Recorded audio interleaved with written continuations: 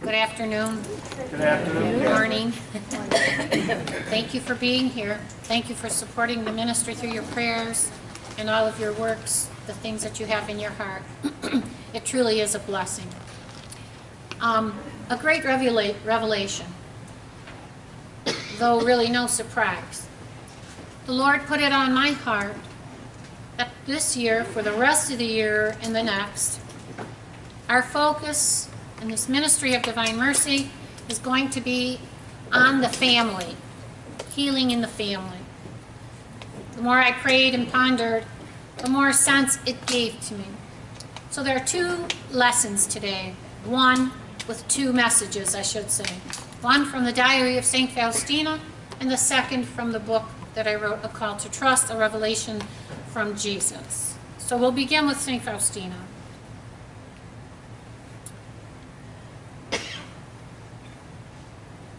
Take this to your own heart. Um, maybe in your own family situation, family members, um, those that are closest to us, we hurt the most sometimes and are hurt by us. St. Faustina says in Notebook 3, entry 1150, Today I experienced a great deal of sorrow from a certain person on the basis of one true thing, she said many things that were fictitious. And because they were taken to be true and spread around the whole house, when the news reached my ears, my, my heart felt a twinge of pain. How can one abuse the goodness of others like that? But I resolved not to say a word in my defense and to show even greater kindness toward that person. I became aware, however, that I was not strong enough to bear this calmly because the matter lingered on for weeks. How many can identify with this? How many? I can't take it anymore. I'm going to give you a piece of my mind. Boy, you're going to have it. That's not what she says. I resolved not to say a word in my defense and to show even greater kindness towards that person. I became aware, however, that I was not strong enough to bear this calmly because the matter lingered on for weeks. Do I even say years? When I saw the storm building up and the wind beginning to blow, sand straight into my eyes. I went before the Blessed Sacrament and said to the Lord, Lord Jesus, I ask you to give me the strength of your actual grace, actual grace. Because I feel that I, I will not manage to survive this struggle. Shield me with your breast. Then I heard these words do not fear, I am with you. When I left the altar, an extraordinary peace and power filled my soul. And the storm that was raging broke against my soul as against a rock. And the form and the foam of the storm fell on those who had raised it. Oh, how good is the Lord, who will reward each one according to his deed. Let every soul beg for the help of actual grace, actual grace, actual grace. As sometimes ordinary grace is not enough.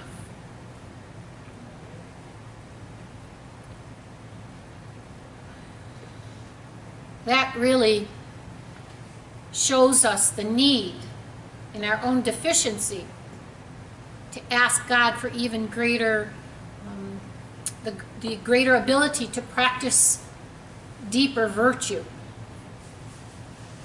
And asking in these kinds of times when our nerves are raw with whatever it may be irritation, misunderstanding, whatever the case may be when we would lash out or say things we would regret later. St. Faustina shows us the right path, and we're all guilty of it. Shows us the right path. Go before the Blessed Sacrament. When you come before the Blessed Sacrament, you come before the throne of God. He who alone can do all things in us. And we ask Him not, oh Lord, help me alone.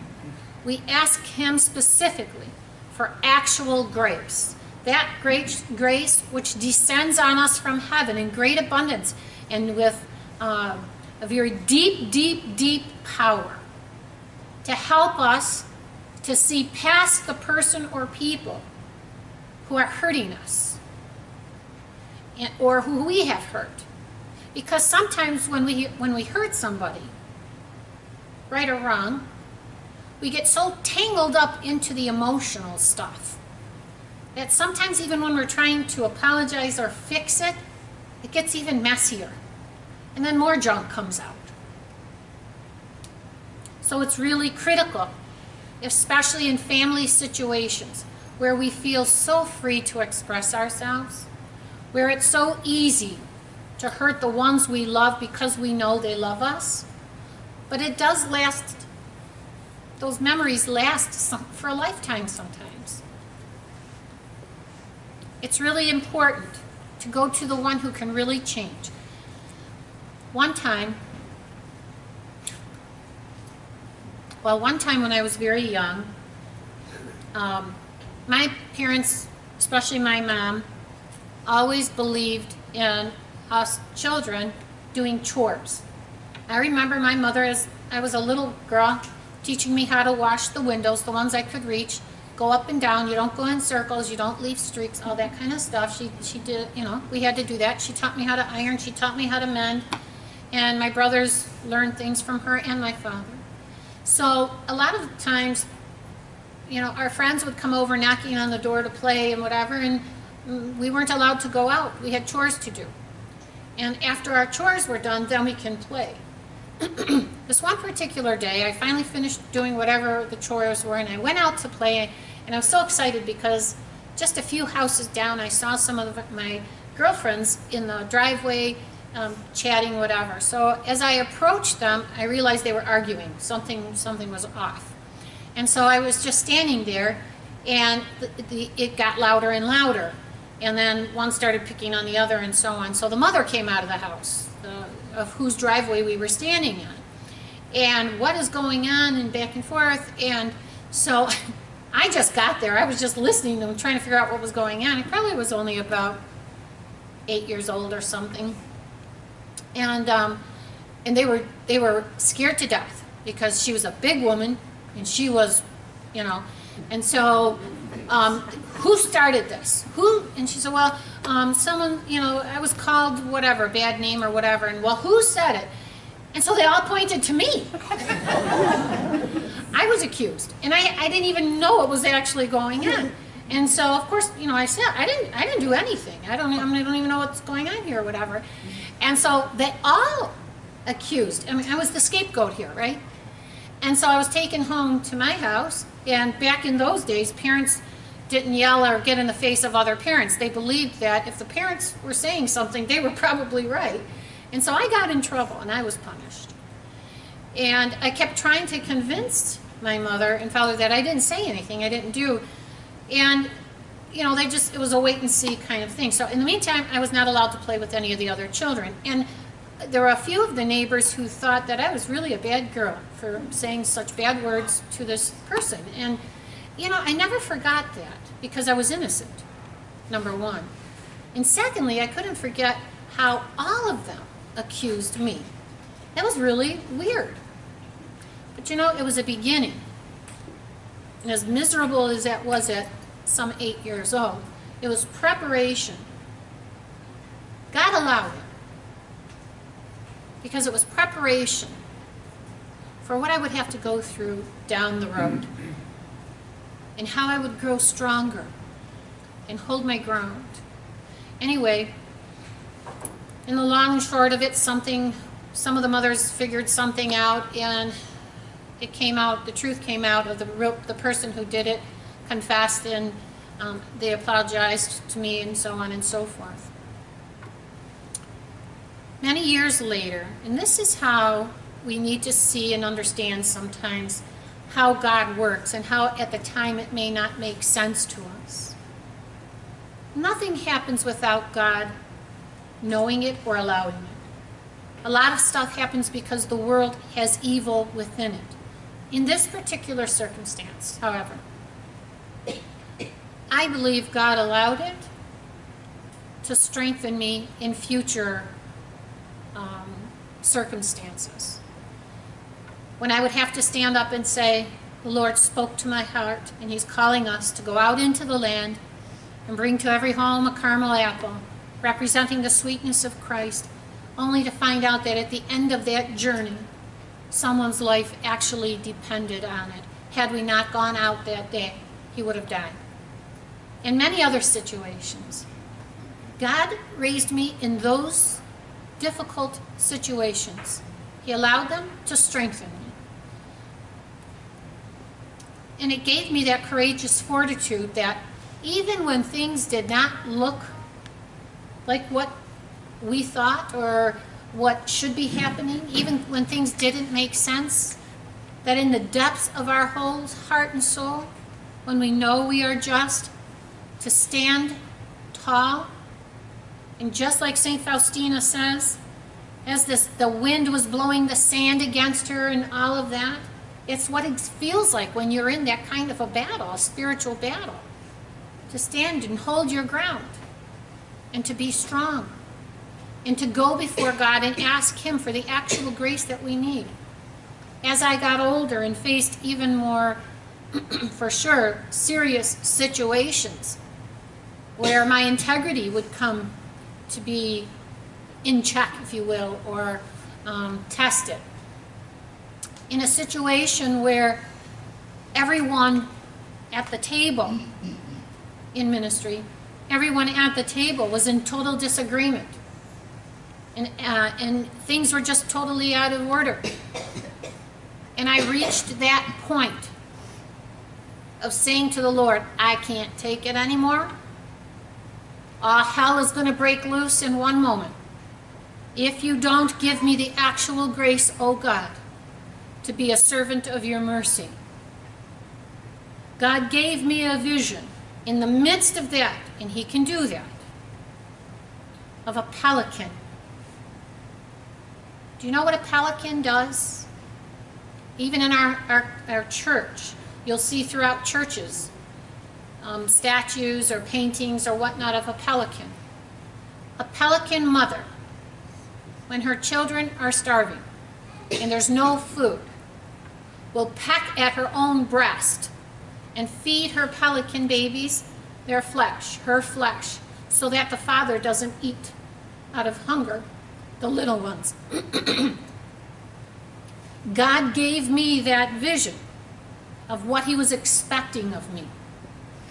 When we know something from God, whatever God appoints, like be a pelican, God was appointing me to be that pelican, he anointed me to do what the pelican does. And he'll do the same for you. When God calls you to have courageous fortitude, when he calls you to silence instead of battle,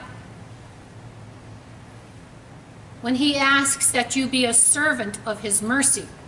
Because the fact is, unless you have the ability to read souls all the time, like God, and none of us can, some are gifted for certain times and certain people and certain circumstances. But only God does that, for the most part. Unless you can read somebody's mind, and unless you've walked in their shoes for the number of years that they've walked in their shoes, and suffered the persecutions that that person has suffered, we learn to be silent. Because behind closed doors, nobody knows the suffering of what another human being truly goes through. And we need to allow each other to live life in the best way we know how. There is good and there is better. God calls us to be better than what's out there in the world. everything can be accomplished by the actual grace that God gives us. First, going to his throne, not judging. Sometimes, because of our own emotional things, we think people are saying things or doing things. They don't even know we're alive, hardly. it's important to do what St. Faustina did go before God, pray for actual grace that He would give you the wisdom and the piety to be a servant of His mercy. That doesn't mean stupid. Don't mistake that. Because with mercy, there's justice. It gives us that good, healthy balance to make the calls in our life that we need to make without being ugly people or harming someone else maybe even for a lifetime. St. Faustina, uh, with, with the rest of this part, says a beautiful prayer. When pain overwhelms my soul and the horizon darkens the night, and the heart is torn with the torment of suffering, Jesus crucified, you are my strength. When the soul, dimmed with pain, exerts itself in battle without respite, and the heart is in agony and torment, Jesus crucified, you are the hope of my salvation. And so the days pass, and the soul bathes in a sea of bitterness, and the heart dissolves in tears. Jesus crucified, you shine for me like the dawn. And when the cup of bitterness brims over, and all things conspire against her, and the soul goes down to the Garden of Olives, Jesus crucified, in you is my defense. When the soul, conscious of its innocence, accepts these dispensations from God, the heart can repay, then repay hurts with love. The heart can then repay hurts with love. And may I even add, I forgive you. Jesus crucified transformed my weakness into omnipotence. Do you see the message the Lord is giving to St. Faustina to us through her? If our focus is on Jesus and our trust is in Him, it's not about the other person anymore. It goes right back to Jesus Christ. Because in the end, we are going to stand before Him and answer for all of these things. We should never be too big of a person to say, I forgive you or if someone asks us for forgiveness, no matter what, to extend forgiveness, even mercy. When we can do that, it shows clearly who our focus is really on. Because everything we do, as an agent, if you will, of divine mercy, a son or daughter of Jesus Christ, wanting to get into heaven should be a reflection of Him and for Him. So it doesn't matter what face is on that situation. What matters is that everything we do, we do for Him. Is it easy? Hell no. Are we called to it anyway? Like a pelican? Absolutely. Hands down. Everyone everyone without exception. Because the same way God wants us in heaven, He wants that person that hurt us or that we hurt, whatever, wants that person, his child, to be perfected in their lifetime and to go into heaven too. How do you feel when you know you've made a mistake and you that the person you've hurt will not extend forgiveness to you. We've all said stupid things. We've all done really dumb things. How do you feel when someone is holding a grudge against you? And even over time, we all grow. I mean, if we're going to Mass regularly, if we're, we're aspiring to practice and live a sacramental life, we are growing. Unforgiveness is the worst thing that can happen. The measure that we extend in forgiveness to someone is what God will give to us. We should never, ever be too big to say, I'm sorry, I messed up, I could have done it better. Now looking back, praying about it, pondering it, I can see maybe where you were, what you were thinking or whatever the situation is. It doesn't matter. Let's move on forward from here. That's what God calls us to. And great holiness happens in all of that. Finally, this is something very clearly and specifically that Jesus put on my heart and was confirmed. So often, because life is so busy, we go from one thing to the next pretty much without thinking. We get so wrapped up into what's going on and what we have to do and getting on to the next thing that it seems things come faster than what we could even handle.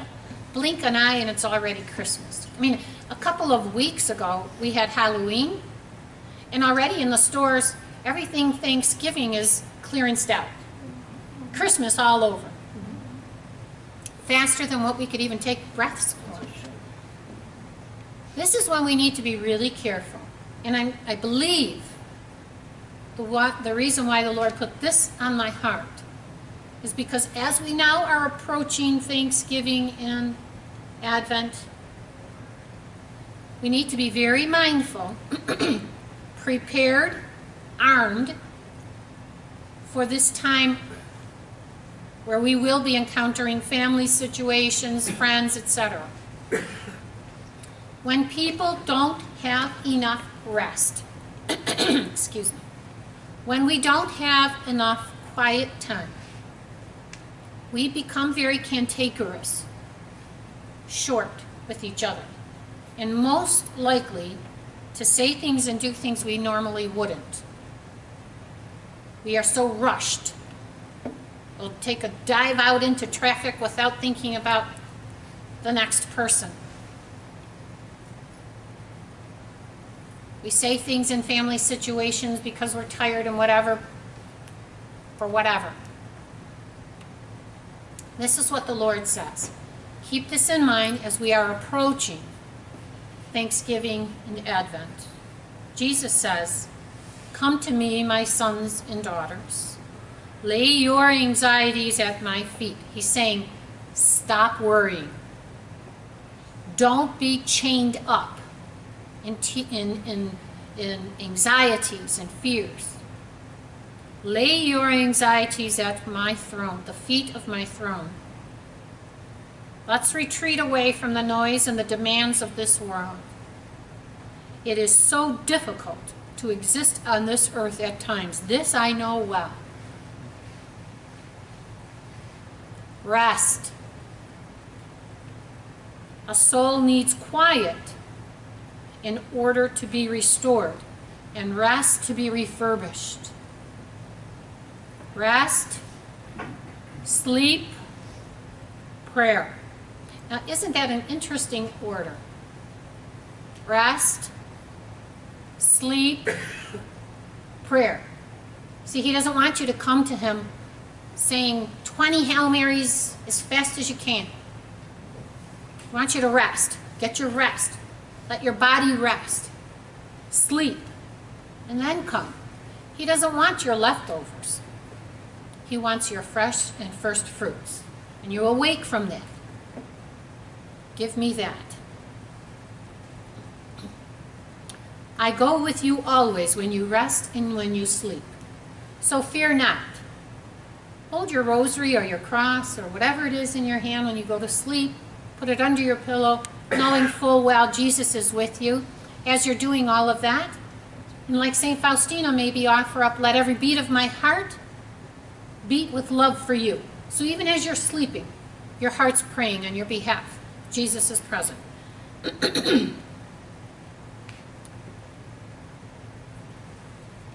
Work for your provisions, yes, but do not become a slave to your work because of unnecessary extras.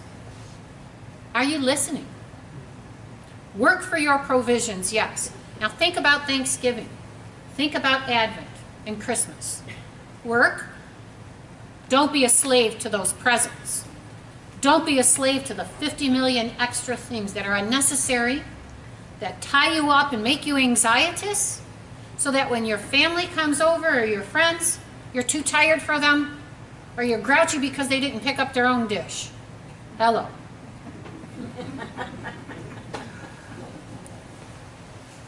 Gather your family and be with them. You are the most important part of their well-being. What is in the heart of Christ is that you gather your family in that you are present to them.